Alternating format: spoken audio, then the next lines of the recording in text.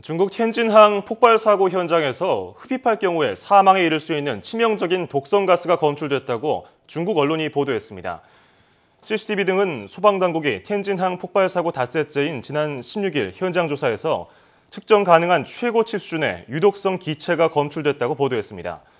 전문가들은 폭발 반경 100m 이내의 지역에서 시안화 나트륨 외에 신경성 독가스도 검출됐다면서 다양한 위험 화학품이 폭발 과정에서 화학 반응을 일으켜 이처럼 유독성 기체를 방출할 수 있다고 밝혔습니다.